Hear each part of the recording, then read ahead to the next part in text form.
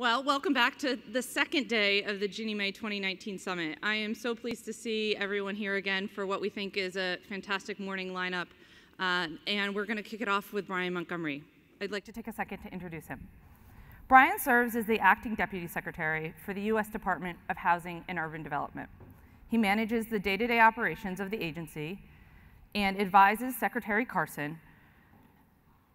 He also serves as the assistant secretary for housing and FHA Commissioner for HUD. Nominated by President Trump in September 2017, his confirmation marks the first time an individual has served as the head of the FHA twice and under three different administrations. Commissioner Montgomery is responsible for the management of FHA's $1.3 trillion mortgage insurance portfolio. This includes single family, multifamily, and the healthcare programs. As we like to say at HUD, we're very appreciative that Brian's willing to do multiple jobs for one paycheck. As a Texas native, he holds a, a, Bachelor of Arts in Political Science from the University of Houston, and he also attended UT Austin. I'd like to welcome to the stage Mr. Brian Montgomery.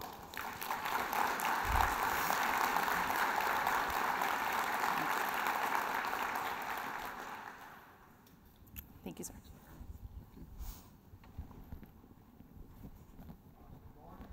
Glad to be here with you uh, today. I just returned late last night from uh, Puerto Rico, so it's very good to be using English once again, so thank you. I uh, appreciate the opportunity this morning to provide an update on what we're doing at FHA, specifically to enhance our performance, uh, to make the agency stronger, and to increase our effectiveness in serving our core mission. Uh, I also want to recognize my colleagues from Ginnie Mae who are here, uh, who put this conference together. Uh, we have a tremendous relationship. It's a pleasure to work with all of you at HUD and, and get your advice and insight. For those of you who don't know, Maren has literally been spanning the globe of late. She's been to Hong Kong, to the Middle East, talking up the Ginnie Mae product. So she gets to fly internationally. I get to go to Toledo, Ohio, Manhattan, Kansas, and elsewhere. Uh, I do also want to recognize some of my FHA HUD colleagues that you'll be hearing from soon. Uh, specifically, my number two, uh, the General Deputy Assistant Secretary John Garvin, who's with us.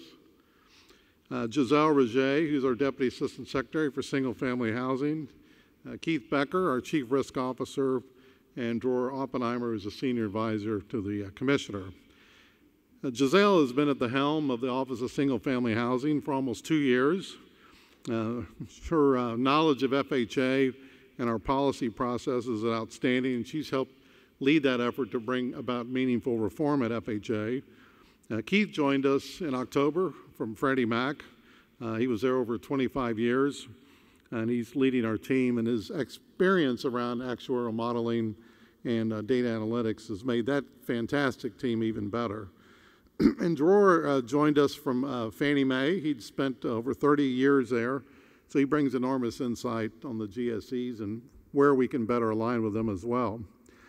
So, getting back to Ginnie Mae, perhaps one of the most uh, important relationships in the housing finance arena within the United States, although it's little known outside the investment and housing community, is a partnership that exists between FHA and Ginnie Mae. Now, while the lion's share of our current uh, mortgage volume is handled by the two giants, Fannie Mae and Freddie Mac, the work of FHA and Ginnie Mae is enormous and no less important. As you know, FHA affects millions of families in the United States, representing hundreds of billions of dollars in Ginnie Mae investments. Perhaps most importantly, FHA fulfills a critical mission for our country, ensuring a steady flow of funding for low to moderate income minority and first time homebuyers, and helping to house elderly and vulnerable populations. The presence and execution of the programs of FHA, with Ginnie Mae as their source of liquidity, instills continuity and confidence in housing markets when those virtues come in short supply. That's that counter-cyclical role that is not always fully appreciated by some of those folks, policymakers, and legislators here in Washington. Now, understandably, the two of us tend to fly beneath the radar. However, the strength of, I like to call it the dynamic duo, is elevated, and our piloting skills felt uh, rather acutely if and when the U.S. economy occasionally stumbles or hits some turbulence. Indeed, our mutual mission was on display quite convincingly during the last financial crisis, when private lenders would have otherwise pulled back further. It was a testament to the credibility of our government's guarantee. But it also highlights that our stewardship of this unique responsibility cannot and should not be taken for granted. It means the diligent management of FHA's risk undertaken on behalf of American taxpayers must be paramount. It means it is important to understand and to remind ourselves of the whole picture, again, for policymakers on Capitol Hill, representatives of, of industry, and certainly, especially for myself and Maren, as our teams make decisions for the future. In short, it's not lost on either of us that the ability to securitize FHA's products is a reason that these loans exist at any meaningful volume. Everyone here obviously no doubt comprehends the significance of this, but I only highlight it because it might also forget this is, that this endeavor is funded by investors from all over the world, many of them who are here with us today. We understand that most investors look for predictable returns, and they also look for transparency to better forecast the future performance of these investments. We also understand that a strong secondary market for our product benefits lenders, homeowners, and FHA. And that's what Ginnie Mae is for, and why that part of HUD has to work very hard to make sure that its securities are something that investors can analyze and price accurately. That is one of the reasons we are committed to ensuring the strong safety and soundness of FHA's programs. As you know, the finance system has a lot of moving parts, and they all need to keep working properly. Now, our program requirements at FHA need to make sense for lenders and servicers. They need to make sense for homeowners and taxpayers so that loans can be made to deserving borrowers and credit losses can be paid for by our insurance premiums. But since the government can fund all of these loans, they have to be turned into in securities attractive to investors. Rapid prepayment activity, for example, that doesn't seem to make sense can cause investors to lose confidence in the securities and put a lower price on them. And that is bad for our mission of keeping housing affordable. The more investors are willing to pay, ultimately the lower cost of financing for the borrowers. And there's also the importance of the TBA market, which is managed outside of the government, but is essential to keeping rates as low as possible. It is that ability to transact in securities that have not yet been issued that allows borrowers to lock in interest rates for free and lenders to avoid losing money when rates change while they are processing loan applications. Improved disaster loss mitigation policies are another example of program efficiencies that can benefit everyone involved and help us better manage our risk. The disasters of 2017 and 2018, including Hurricanes Harvey, Irma, Maria, Florence, and Michael, as well as the California wildfires, have been a learning experience for servicers, as you can imagine. As a result of that, uh, and it was a tough experience to get, but they did gain more meaningful experience and insight in how to make better use of relief, relief options and allocate the resources they control and where they are needed the most. It's incumbent upon the people making decisions about policy to be knowledgeable about all these different parts of the systems, of the system, and how important it is that they fit together and kept in balance. Now, almost everyone in this room has seen this end poorly for borrowers and for taxpayers and even for investors following the last decade's housing collapse. Now, we don't preserve the integrity of the assets that underlie our securities it will be exposed at the most inopportune time. Well, for FHA, this is an important time to make sure that we get it right. While the economic environment feels to be one of cautious optimism, we are at an important crossroads. We understand the need to step up to these challenges. Now, I've been focused on building the strongest team possible for housing and for FHA, upgrading our technology, and managing our risk and these are all interrelated goals. Now, one of our biggest priorities at FHA has been to update our outdated technology. The catastrophic imbalance that currently exists between FHA and the rest of the market, including the GSEs, uh, can hurt traditional FHA borrowers in a number of ways and needlessly increase risk to the system. So we are very pleased when Congress recently appropriated $20 million for FHA's IT modernization plans. And by the way, we ultimately need about $80 million total. And I want to thank the organizations that gave input to Congress on the importance of updating our technology. In partnership with our new Chief Information Officer, David Chow, we are now in the process of developing a modern single technology platform and baseline architecture this transformation will serve borrowers more efficiently and effectively in a modern world of mortgage finance that is increasingly digital and paperless. The new technology platform will provide lenders with a single port to conduct business from loan application all the way to claims. It will include the ability to track requests throughout the life cycle of the loan. And it will enable, ultimately, electronic submission and document management to reduce errors and reliance on paper, as well as to enhance processing speed.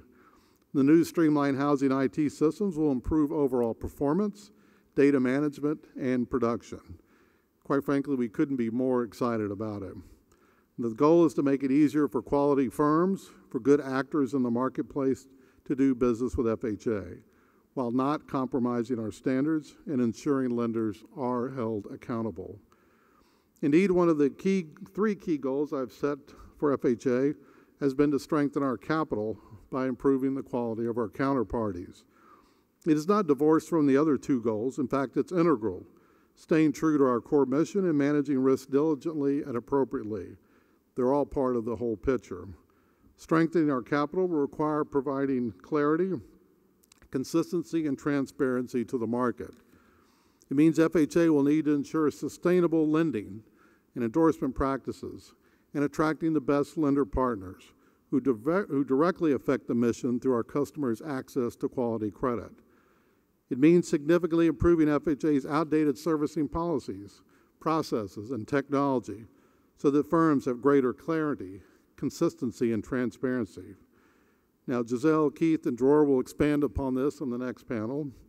And given Dror's uh, Fannie Mae servicing experience, he is helping lead our internal efforts to bring around much needed reforms to our servicing protocol, protocols, including ways we can better align with the GSEs. But in short, for FHA to achieve sustainable ownership, ensure the liquidity of FHA loans, and protect taxpayers, we must ensure we can manage our non performing loans and maintain prudent uh, financial management of the Mutual Mortgage Insurance Fund.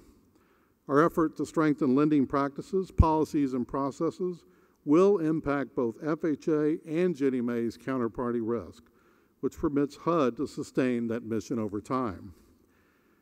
When both our 2017 and 2018 reports to Congress regarding the financial status of the MMI Fund, we indicated our intention to enhance our enforcement regime to clarify the perceived severity of defects and other types of noncompliance. It's become widely known, and a conclusion shared by both lenders and consumer advocates, that our compliance rules continue to discourage many lenders, including depository banks, from doing business with FHA. The share of mortgages endorsed by depository institutions de- decreased to 13.3% in FY 2018 which is significantly below the 44% in 2010. And this imbalance must change. Most depository institutions are no longer regularly doing business with the FHA, in large part due to risk associated with our regulatory compliance and perceived litigation risks. In Q1 of FY19, for example, not one, not one of FHA's top 24 mortgage originators was a depository institution. They were all non banks.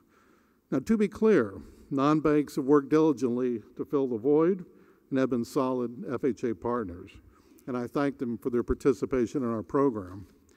However, I frequently said, and I will say it again today, and that is I don't take sides, but I strongly believe this lack of particip- participation by banks has a direct impact on the availability of FHA products and consumer choice. It also impacts the diversity and strength of the counterparties that end up in Ginnie Mae pools. Now, our goal has been to identify areas where FHA can provide lenders with greater certainty, resulting in increased confidence to make FHA insured mortgages available to eligible borrowers. Now, the result of that confidence should be greater competition in the market and more financing choice for borrowers, especially first time and minority home buyers. So, in addition to modernizing our technology and analytics that will make FHA a more attractive business partner, we are evaluating other policies that will be helpful to good actors who want to participate in our programs. And we are working hard to provide greater clarity by providing more transparency throughout the enforcement process. We are working with the Department of Justice to review and address the use of the False Claim Act, which has been used to sue FHA lenders. And we've been working with the Justice Department since early last year. Our goal is to be fair. And to be fair, we believe FHA needs to be a true participant in that process, along with the Department of Justice.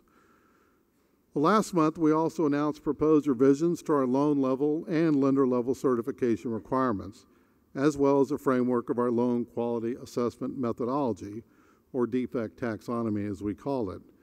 The goal, again, is to provide needed clarity and transparency and to streamline the certification process and to ensure proper program oversight.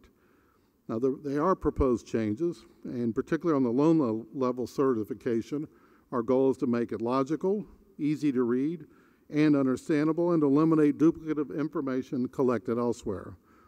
The proposed changes to our annual lender certifications are, are, designed to better align them with the National Housing Act, while continuing to hold lenders accountable for compliance with HUD eligibility requirements. Defect Taxonomy version 2 will update the defect taxonomy that was created in 2015 and implemented through the loan review system in 2017.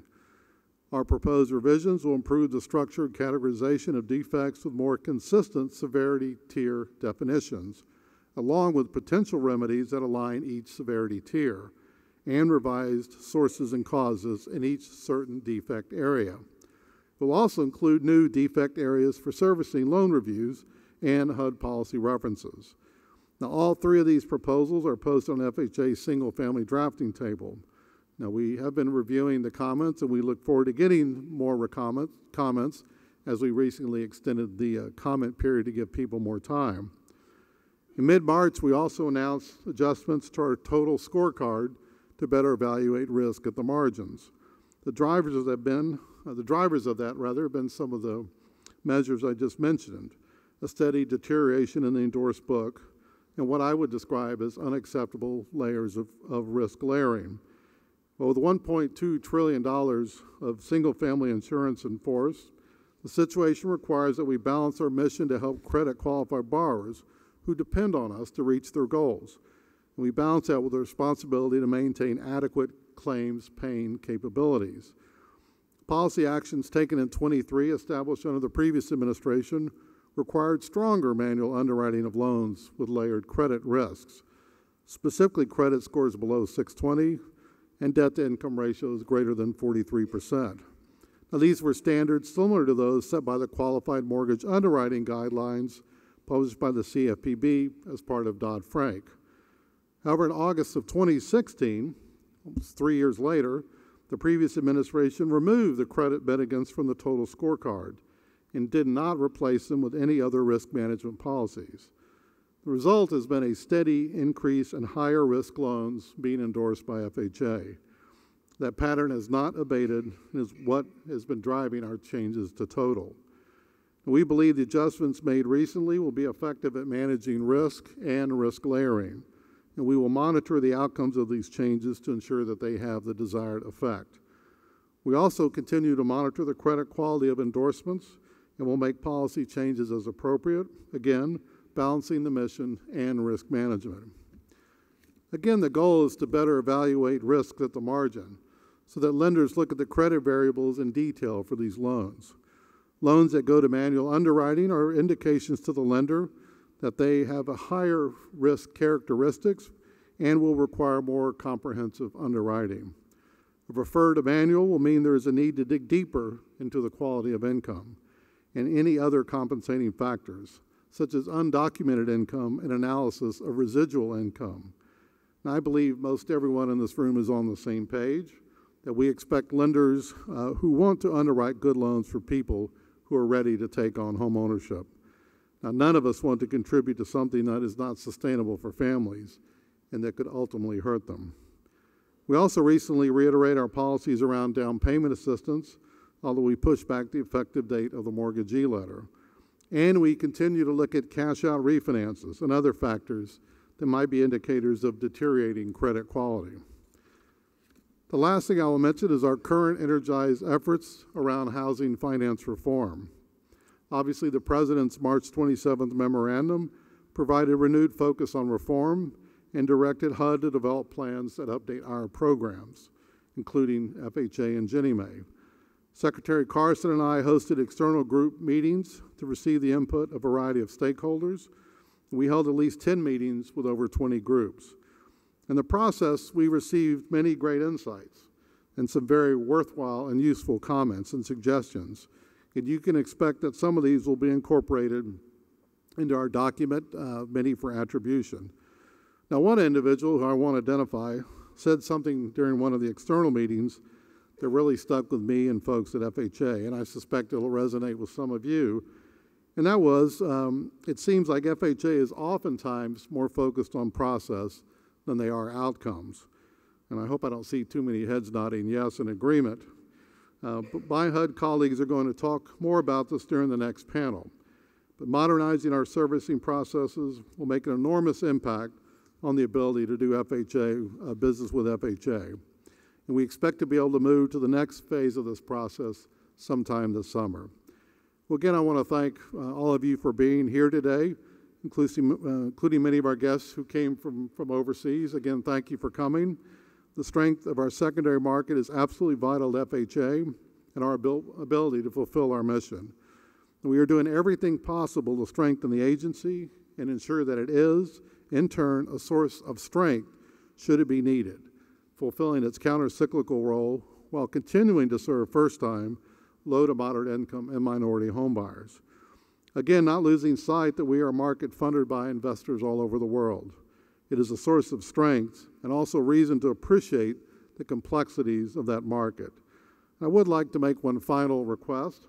I hope you will follow the Federal Housing Administration on LinkedIn so that as a community uh, we can stay better connected. We will continue to post updates and informations on LinkedIn to ensure our partners and stakeholders are well informed. Again, I want to thank you uh, for being here, and I hope you enjoy the rest of the conference and have a good day.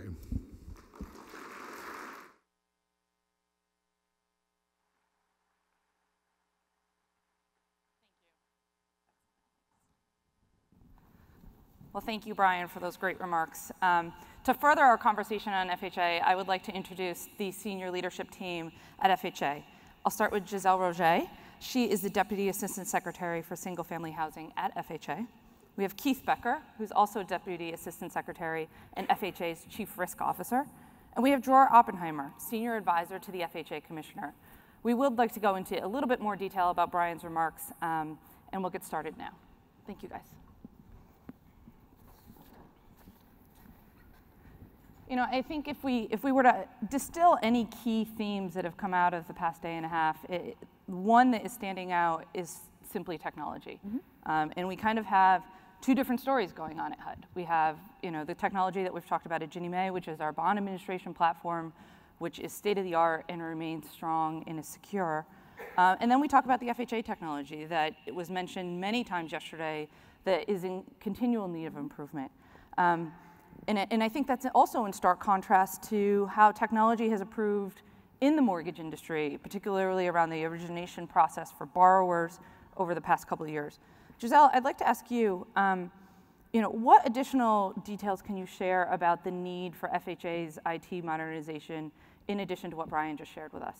Sure. Well, I think that when you're thinking about FHA technology, there's one, the aspect of making it easier to do business with FHA. You know, right now, for the 800,000 to a million mortgages that we do each year in FHA, there's 300 to 400,000 paper case binders that have to be submitted with each of those loans. And that results in slowing down the process for both the lenders and the borrowers. So there's that aspect. And then there's also the aspect of access to credit. You know, when we have slow systems, when we don't have that ability to get someone an answer, whether it's a borrower or a lender, about whether or not an FHA um, application meets our guidelines, um, that really hurts our access to credit. So I think that when you're thinking about FHA technology, you really have to think about it not just from the aspect of the lenders, but I think also in the aspect of access to credit for our borrowers. And the fact that we have this tremendous technological imbalance is really doing a disservice to the communities that we are intended to serve, which is low and moderate income homeowners who overwhelmingly tend to be first time homebuyers. I think also when you're talking about technology, you have to talk about and think about FHA's capacity to fulfill its counter-cyclical role. You know, again, FHA stepped up during the aftermath of the housing crisis, and we provided trillions of dollars worth of mortgage credit in that aftermath.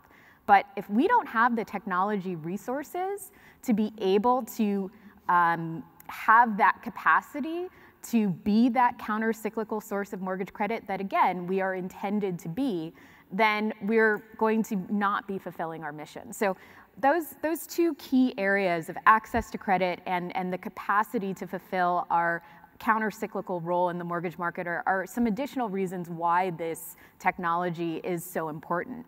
I think in terms of some of the uh, changes that we're looking to do, both from the origination all the way to the claims side, you know, this, this can help all of us in a tremendous um, in tremendous ways. I think that in terms of protecting the FHA program from fraud, as well as providing certainty to our lenders before a loan is endorsed, I think is going to be very key. So um, I think the suite of changes that we are working on right now, and we're working in collaboration with FHA's chief information officer, are going to do uh, go a long way in terms of providing that certainty both to the FHA program, which again, it's 100% taxpayer um, backed program, as well as to our, our lenders. Um, again, we received $20 million in appropriations, but that is a down payment, no pun intended. Um, it is a down payment. We estimate that we would need at least $80 million to make the full suite of changes. And so again, we're gonna continue to work aggressively in showing that FHA can make these changes, that we are going to use the money wisely, that money that's appropriated for single family information technology will only go for single family information technology. Um, but again, this is going to be something where $20 million is not going to just be it. We are going to need the full amount of funding, which we estimate at around $80 million. And then also, we're, we're looking at what other agencies have done, what USDA has done, what VA has done. You know, they have great systems that they have developed. And so our staffs are working together and trying to collaborate. And we're also looking at what the GSEs have done. That's great. I think that's really informational. Uh, if I think about the second main theme for, that's coming out of our session is, you know, how do we combine technology with how we manage the counterparty risks in our program? Keith, if you could, could you talk about how that uh, technology could really help you as you look at single family risk at FHA? Uh, what are today's challenges and where do you see solutions via technology modernization? Sure, thank you. Yeah, and I think you're going to hear some repeating themes today, technology being one, um, credit risk, credit risk management and access to credit being another, and, and of course, um, being able to manage the assets once we put them on the books. Um, and as you've been hearing, the, some of the top risks facing FHA, one of the key ones is technology. Um, we are um, woefully behind um, the industry and our GSE counterparts in technology and, and the use of technology and access to technology. Um, and this has had a dramatic effect on uh, our ability to um, recognize and manage risk up front in the process um, and be able to adequately model um, the risk um, as it works its way through the cycle. Um, and what I want to talk about, this is more than keeping up with the GSEs in this modern, largely digital, paperless environment. this industry is moving, and if we don't keep up with it, it will move past us quickly. And so uh, this is uh, something we need to um, spend more time thinking about how to incorporate in our process. Um, some background, the US residential mortgage industry is experiencing this wave of technological advancement um, with the uh, uh incorporation and introduction of new risk tools, um, ability to um, get um, income and asset verification in a paperless environment, the ability to, at times, model appraised value as a replacement to appraisals. Uh, this is all, um, all happening around us. Um, the GSEs are leveraging this technology now. Um, most of our lender partners are leveraging this technology as well. Uh, we have to find a way to do the same thing so that we can stay um, current with um, industry um, direction. Uh, this will help us um, not only uh, recognize the risk before we actually endorse the loan, potentially giving feedback to lenders uh, prior to endorsement. Um, it can, as Giselle mentioned, be a, a great um, deterrence to fraud by eliminating um, some of the paper that uh, the borrower and other interested parties handle as part of their mortgage underwriting process. Um, and uh, it will uh, permit us to be better informed about the risks, not only before we endorse, but as they work their way through the cycle. Uh, a recent Fed study um, that uh, was conducted in 2018 um, analyzed default rates at FHA uh, with FHA data. And, and, this is publicly available data accessed through Neighborhood Watch and, and Ginnie Mae loan level data. And uh, their conclusion is that um, for lenders who, act, who, who, leverage and use these fintech tools that we're talking about, um, both in year one and year two defaults, um, lenders using these tools have a 35% less default rate than lenders who don't use these tools. So the value of these tools is clear. Um, the innovation is, is uh, appropriate for us. And we have to find a better way to, um, to, to, be able to leverage that too. Um, think about the reduction in default rate. Um, very important if we can, can uh, continue to support that in the industry.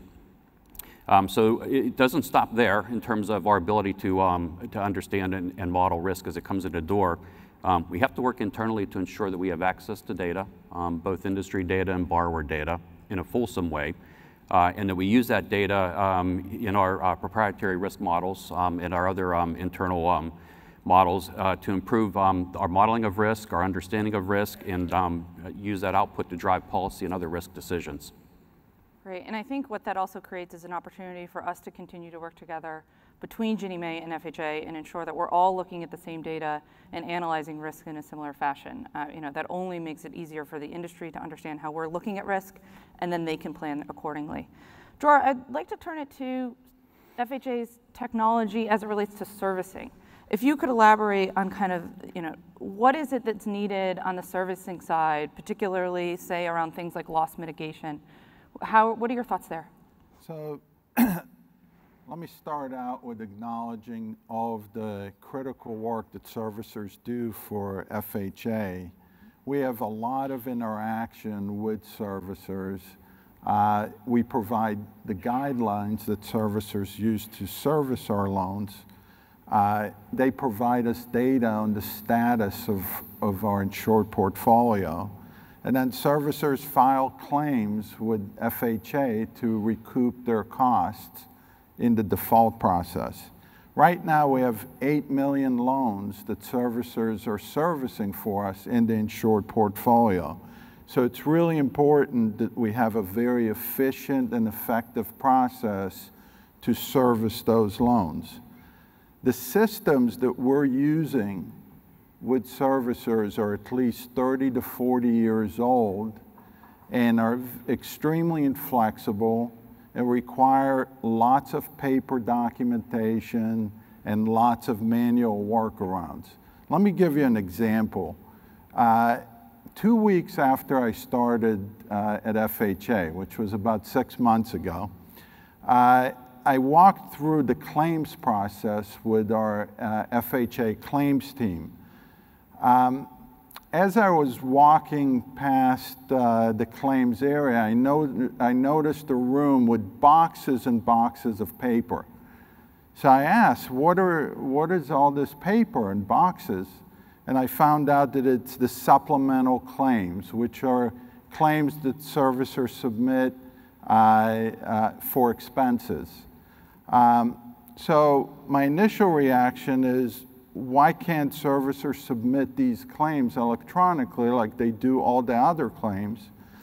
Uh, and the answer is the system is so inflexible that it can only accept one initial claim. So, um, you know, any subsequent claim is, uh, has to come in in paper.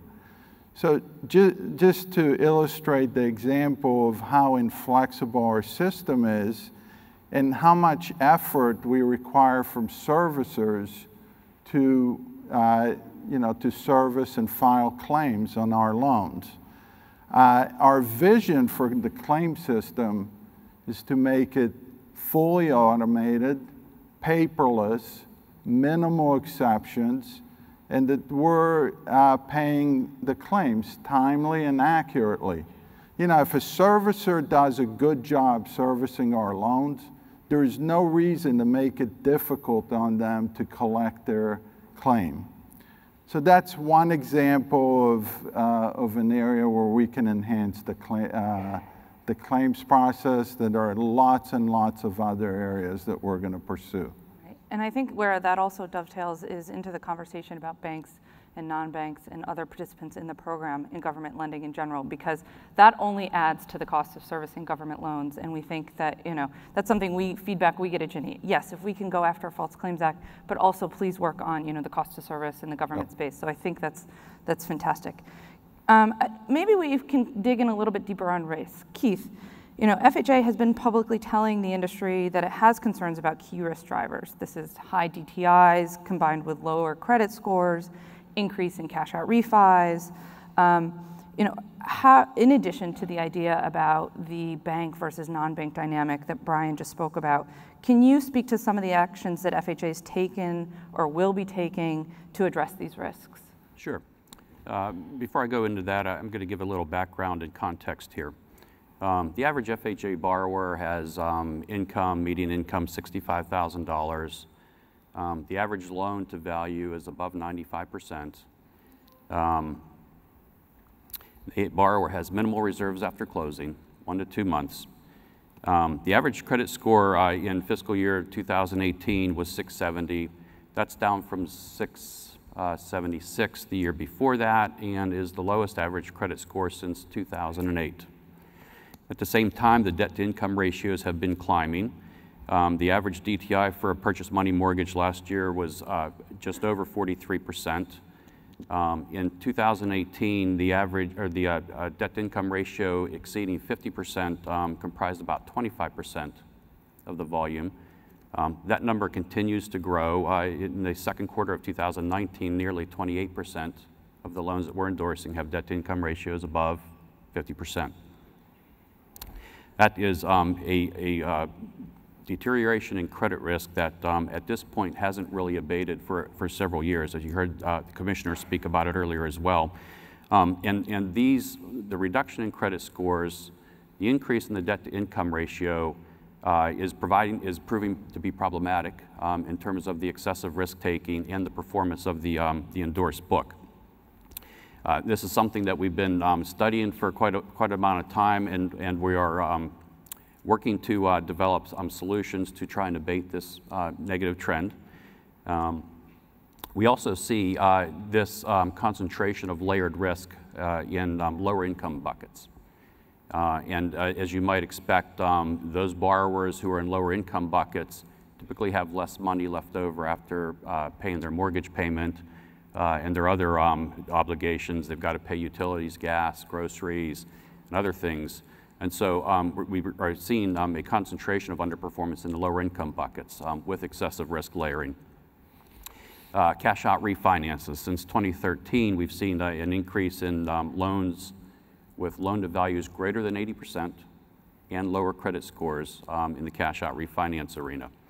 Uh, and so as you heard earlier, to begin to address uh, these negative trends, um, we did make a change to our total mortgage uh, scorecard, our automated um, underwriting scorecard uh, a few months ago um, to better address the risk at the margin, um, to make sure that, that, that the uh, loans, um, the last loans coming in are still of uh, in insurance and, and, endorsement quality. we thought at the time that we did it that about four or 5% more loans would go to the refer bucket. And um, so far, um, that's proven to be true and accurate. Um, we are seeing um, roughly four, a little over 4% going to the refer bucket since then. Uh, and that, that, means that the lender then, if they wish to continue to um, underwrite and submit that loan for endorsement, they'll have to manually underwrite it. Um, and they'll have to use additional compensating factors that the total scorecard did not already consider when it, when it uh, came up with its referred designation. Uh, we also plan to call in these loans um, that are manually underwritten and submitted for endorsement and review them through our quality control process. Um, and we will give lenders feedback um, on uh, where we don't agree with their underwriting decisions. And we'll be able to use this data to um, inform future policy changes as well. Uh, so um, we'll continue to monitor the, this outcome um, to make sure that uh, we continue to, to see a, um, the, the, desired effect. Um, and we're prepared to um, continue to make changes um, to the credit policy box to, to uh, address this risk at the margin with the goal of, of basically stabilizing the, uh, the uh, credit performance trends. Got it, that makes sense. You know, the commissioner just recently talked about the proposed changes to the loan level and annual lender level certifications, as well as the defect taxonomy mm-hmm. that was posted to the single family housing drafting table. Mm-hmm. Giselle, would you be able to share a little bit more detail about these proposed, proposed revisions? Sure, Maren. So, um, about a month ago, FHA proposed changes to our loan level certification, um, Form 92900A, as well as our annual lender certification and our quality assurance methodology for individual loans, which we term the defect taxonomy. And the high level goal was to provide additional clarity about what we're looking for in terms of compliance and in terms of certification, transparency, and certainty to lenders that have continued to be part of the FHA program, as well as providing additional certainty for lenders um, that uh, perhaps have taken a pause or left. Um, in terms of the feedback that we're looking for, um, so we posted these on uh, the FHA drafting table. And that's a really elegant tool. It allows us to get a lot of feedback from a variety of stakeholders before we go through the Federal Register process that we need to use for um, any updates to our certifications. Um, we have uh, closed the process for feedback for the annual lender level certifications. Um, that closed on June 8th we have extended the feedback period for the, uh, both the loan level certification and for the defect taxonomy. Um, in terms of high level, what we're trying to accomplish, again, with each of these individual um, proposed revisions. So for the annual certifications, we found that uh, we were asking our lenders to certify to more than they were required to certify to in regulation and statute. So we wanted to streamline those certifications. Um, again, sometimes this can be an accretive process where a certification statement can um, take on a lot of bulk, and we wanted to streamline that as much as possible and really be clear about what was important for our lenders to certify to. We're in the process of reviewing those comments right now.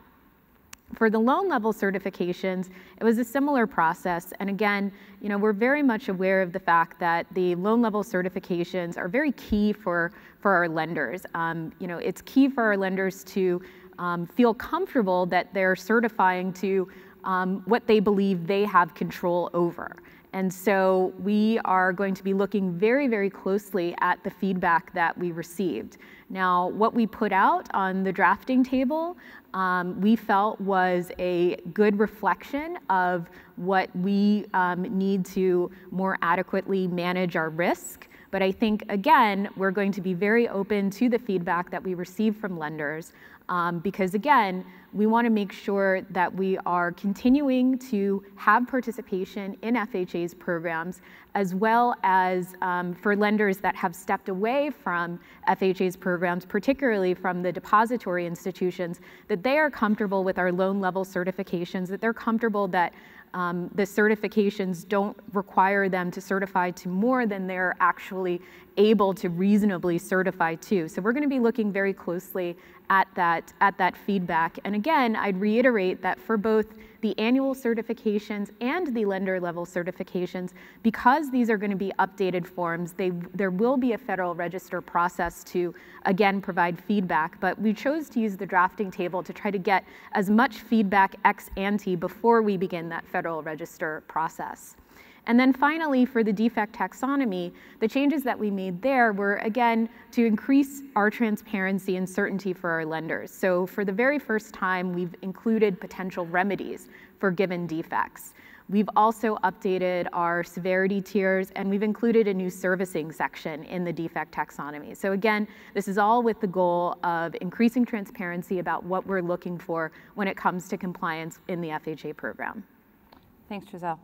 Dror, um, like we just touched on, uh, some in the industry argue that servicing an FHA portfolio is more complex and thereby more costly um, than servicing a conventional portfolio. Can you speak to this and some of the actions that we're considering in FHA to make servicing of FHA portfolios a little bit easier?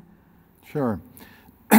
the characteristics, there's no question the characteristics of the FHA loans require, you know, I would say, heightened uh, uh, attention from servicers compared to the more balanced GSE portfolios. There's no question. It takes work to service an FHA portfolio, and we recognize that. Over the last three months, um, we've engaged many servicers in many different forms to get their feedback about how we can make the servicing process more effective and efficient for borrowers and servicers. You know, from all of those discussions, we have a very good understanding of the key pain points that servicers experience. And this is end to end the servicing process, loss mitigation, disposition, conveyance, the entire process. So we have a good understanding of the key pain points. And through our modernization effort, we're going to address those key pain points, uh, or we're going to try as many as we can and as quickly as we can to address those key pain points, especially the ones that result in positive outcomes to the borrowers, FHA borrowers, and taxpayers. Now, I will say, being new to FHA, doing this in the government is sometimes a little harder than I expected. But I will tell you that we're very committed to getting this done and getting this done as quickly as possible.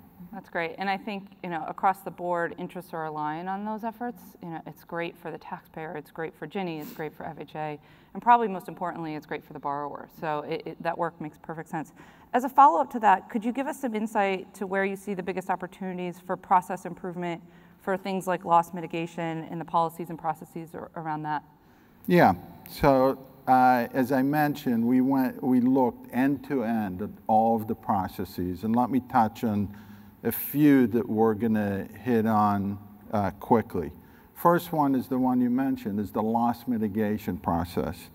We want to streamline the loss mitigation process in order to make it as easy as possible to keep people in homes while ensuring that we're protecting taxpayers. Um, we will try as much as we can, and I think Commissioner Montgomery hit on this, to use some of the work and to try to standardize our processes to be as consistent as we can with the GSEs, Um, and, and, that's to, uh, as it makes sense to FHA. Let me give you an example of where it, that could work. Um, in the loss mitigation application, we require a tremendous amount of documentation and it's much more than the GSEs require. That's an area that I think we're going to look at and, and see how do we streamline the application process because this is a time when we need to speed up the process, not slow it down. So that's an example in the, uh, in the loss mitigation area that we're going to pursue. Um, another area that we're going to pursue is alternatives to conveyance. Conveyance is when a servicer um, uh, conveys or uh, assigns a property to FHA after default. Uh, that process is very cumbersome for, for servicers. It's the most costly for servicers and FHA. Um, what we've done over the last few years uh, is move to alternatives to conveyance. So uh, an example is what we call the claims without conveyance process. And over the last two or three years, that process is, uh, we've increased the number of dispositions to 70% of our total from about 20% about five years ago. So right now, that's the predominant disposition process for, uh, for defaulted loans. That process is so much easier for servicers and is less costly for taxpayers. So that's definitely an area that we're going to continue to increase in order to uh, minimize the effort for servicers and reduce losses for FHA. Uh, a third area, I think uh, uh, Giselle touched on it earlier, is uh, the file submission process. I was recently in our Philadelphia home, uh, home ownership center and I mean, the stacks of files is, is incredible. And it, it just so, in, in, this day and age, it's so much easier to get those files electronically. As Keith mentioned, really get the data so we can use the data uh, to better manage our portfolio.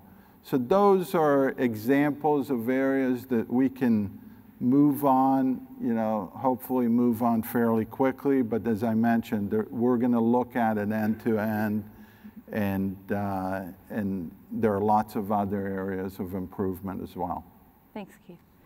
Dror. Um, over the past six months, you know, Giselle, you and your team have been incredibly busy and have published a series of mortgagee letters. Mm-hmm. You know, that the idea behind them, it seems as though it's really to the intention is to make business, make it easier to do business mm-hmm. with FHA. Can you give us an update on the changes you've made so far and any progress reports you have coming out of those changes? Sure. So we have made a number of changes, Maren. Thank you for, for recognizing that. Um, a couple of those changes include um, efforts to reduce some of our regulatory burden. So this is an overall goal of the administration, but this is also a goal for us to, again, make it easier to do business and um, make it easier for our borrowers to access FHA credit. So some of the things that we've done include having a mortgagee letter, putting forward a mortgagee letter that authorizes the use of third-party verification services. And this is important because, again, this is helping us take a step towards the 21st century here where you know, instead of requiring borrowers and their lenders to submit, you know, PDF forms which can be subject to all sorts of fraud and manual manipulation, allowing the use of third-party verification services, which is something that many lenders are already using and is, you know, very rapidly becoming a standard in industry practice, is again going to help protect the program, but also help um, make it easier and make that whole underwriting process a little bit more swifter. Um, in terms of reducing regulatory burden, one thing that we did was in light of the issues that we have with new um, entry level housing supply, um, we removed some of the burdens associated with loans for newly constructed properties. So we removed the inspector roster requirement and the 10 year warranty requirement for newly constructed homes. Um, in terms of other things that we're doing, I described the updates to certifications and defect taxonomy. Um, one of the major updates that we've done is we have, for the first time since 2016, put out a new iteration of FHA's single family housing handbook. And this is something that our lenders use.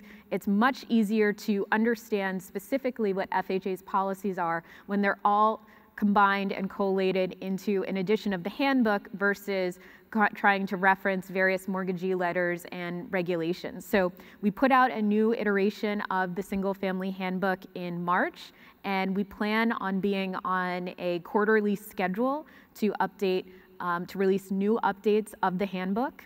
Um, some innovations that we put into the latest iteration of the handbook include um, clarifying our guidance on co-borrowers and which co-borrowers can um, participate in the FHA program if they have an existing FHA loan. Um, we also clarified uh, gift documentation requirements um, to, again, make it clearer that if you're a borrower and you're receiving uh, a gift documentation, how exactly how you're receiving a gift, how exactly that needs to be documented. Um, Currently, we're looking at making some updates to the handbook in the areas of servicing, as well as um, our Title I manufactured home loans. So this is all um, efforts that we're trying to do to, again, make it easier to do business with us, make it easier to understand what our requirements are. Um, and as um, Keith mentioned, um, you know, we put out an FHA info guide uh, notice um, to make clear that we were looking at our underwriting practices and we were making changes to the total mortgage scorecard. Um, looking forward, um, again, as we've uh, noted in our FHA annual reports in 2017 and 2018, we're looking very closely at the prevalence of cash out refinances, and also as the commissioner mentioned, and as been mentioned in our uh, 2017 and 2018 annual reports to Congress, we're looking closely at the use of down payment assistance. Thanks, Giselle. We have one last question for Keith. Uh, you've given several interviews where you've spoken about risk layering and what per some perceive as the deteriorating credit risk of the FHA single family portfolio. Can you explain to us why that is such a concern, uh, in addition to the comments you made earlier, especially when our mission is to serve those under underserved borrowers versus the conventional market? Sure, thank you. And this really is a continuation of my previous remarks. Uh, we must balance our mission of uh, helping first-time home buyers, minority families, and other credit qualified borrowers, um, as well as provide a source of counter-cyclical liquidity to the mortgage market uh, with the responsibility also to maintain adequate claims paying abilities. Um, simple task, right? Yeah. With our current forward book uh, performance is strong. Um, as you've heard, and, and again to repeat the, the, theme, we are seeing increasing risk at the margin. We've seen this for um, some time now. And uh, that poses um, risk to the future. Um, these lower credit scores, the higher debt to income ratios, um, the higher LTV cash out refinances, and the increasing use of riskier forms of down payment assistance um, all provide um, a little stress to the uh, performance of the um, portfolio. So uh, it is important to balance our mission and taxpayer protection obligations um, and make sure that we do not contribute to uh, extension of credit to over-levered borrowers um, who will struggle to be successful homeowners. Uh, to bring this full circle, um, I'm going to go back and talk about our access to technology and, and, and risk tools.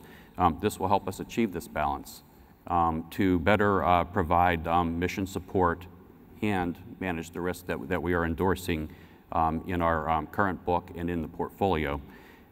for example, uh, go back to the, the idea of the risk tools where you can get automated income and asset information. Mm -hmm. uh, imagine a world, and this, this technology exists today, um, where you can um, get bank statements in an automated fashion, um, let's say over a period of 12 months.